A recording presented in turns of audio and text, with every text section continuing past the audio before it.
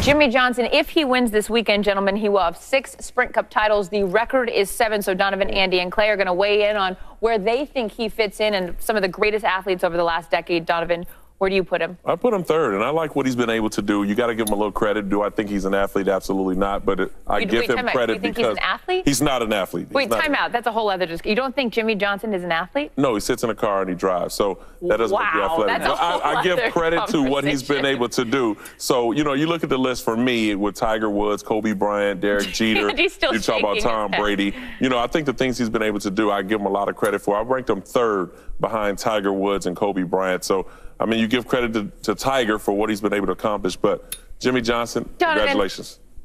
You're really going to say he's not an athlete, but you're going to put him third on the list? No, what athletically is he doing? okay.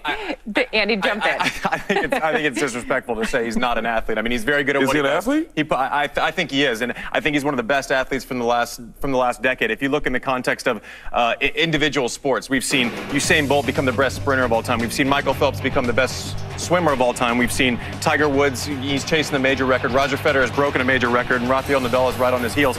Jimmie Johnson's doing the same thing. He's breaking all-time records, or he's on his way to breaking all-time records. He's, he needs one more Sprint Cup title to tie, and you know he, he- he's at the age he can easily surpass it. I, I have a lot I of respect for Jimmie Johnson. I just want to go back to this conversation where you don't think he's an athlete. He just mentioned Usain Bolt. He just mentioned Federer. He just mentioned all the people who are doing something actively, who are athletically doing so something. you're essentially saying that NASCAR isn't a sport then?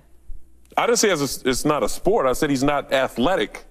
So when you put him in an athlete group, Okay. Well, we don't have as much time to get into that, so I'm being told to ask Clay where you put him. Yeah, it's interesting. With Andy's all of his rankings, I think it's also